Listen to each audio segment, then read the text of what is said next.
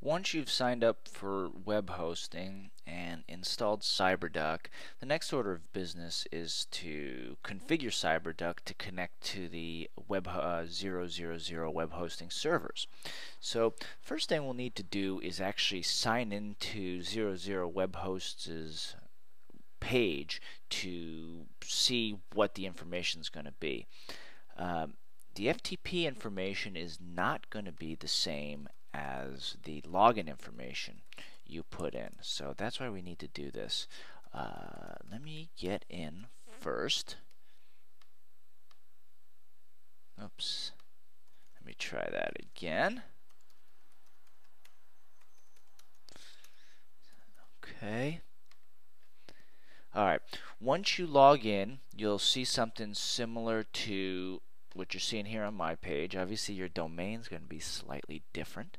Uh, my domain name is dragos19.site90.com. And what I want to do is click right here on the Go to cPanel tab. Alright, so if you scroll down the way a little bit, you should see under the Files option, you see View FTP Details. And right here, if you click on that, is what you should see something similar to this. Uh, FTP hostname, username, the password, and the folder to upload the files to.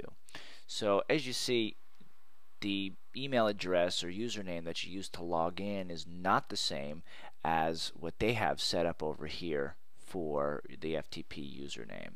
Um, and probably the first order business, if you've never set a password or anything like that, the first thing you're going to want to do is click this change account password just to make sure that you don't want to drive yourself crazy thinking you have some password set. So just change it to something that you know you'll be using right here.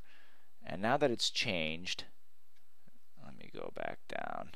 Now I know exactly what my username and password is going to be. So there's no conflict there when I'm, you know, you want to kind of eliminate any um, potential issues ahead of time when you're logging in. So that way there's you know you could really narrow down what your problem is assuming you're going to have a problem.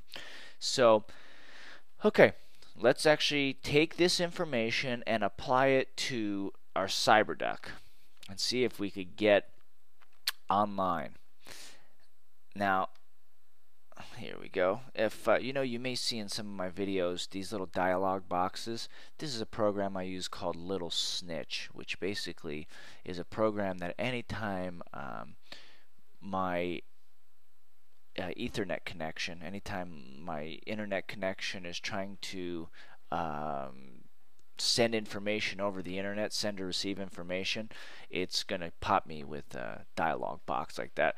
Taking a little tangent here, it's just a little program that I use. I want to explain it so when you see it, you will not be seeing the same thing on your end. Um, if I go, you guys should be seeing something like this. I think um, when you first install CyberDuck, it already has a couple of bookmarks already pre-installed there for you, more like example configuration. Um, and I have something, and I have, let's see, my 00 web hosting already set up. If you're going to be setting it up for the first time, what you want to do is press this little plus button down here and click it, and you're going to see a box like that. What I'm going to do instead is I'm just going to click on the one that I already created and click the edit um, button down there and show you how um, I configured it. So just going down the row over here, the nickname that you would use, this is whatever you want. This is just more for your own naming convention. You see that I use the 000 web host, and that's what shows up right over here. Um, this URL, this thing gets automatically filled in for you, so there's nothing to do there. Um, the server. Now, the server is the FTP host name you find at webhost over here. So you take this information, just take it and copy it right into that server address. As far as the port goes, this should already be at 21 for you.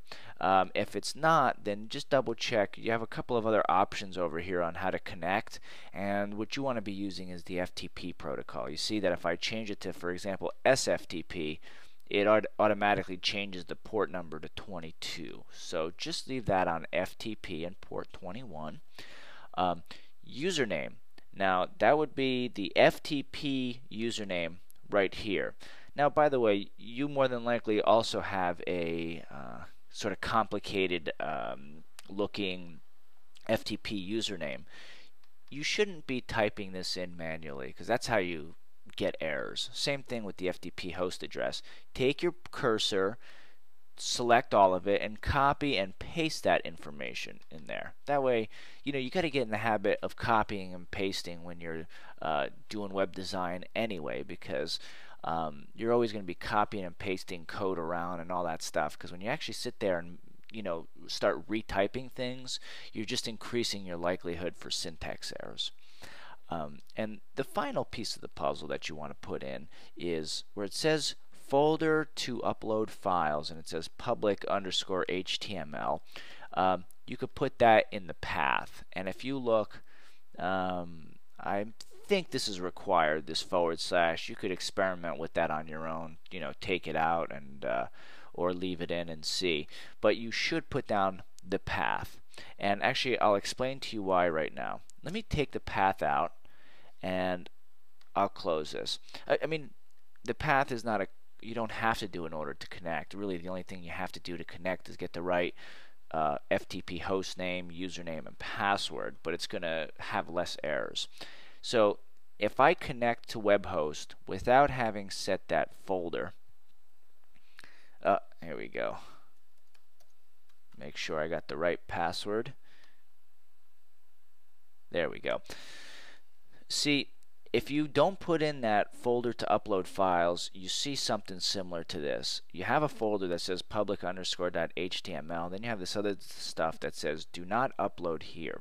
Ba so in short, what happens if you upload something here is it's just not going to be visible to people online. This is actually a public, uh, uh sorry, a private folder. Uh, it's only when you double click on the public.html, it's the files inside of here that are what are going to be published to the internet. So really what that changes is if I go back to my bookmarks now without that uh, path over there I double click on it I see this folder and then I double click on it again but if I put that path in let me click the edit button and I go oops I was about to type it in but like you guys said, don't ever type it in, get in the habit. I'm going to listen, right? Uh, forward slash.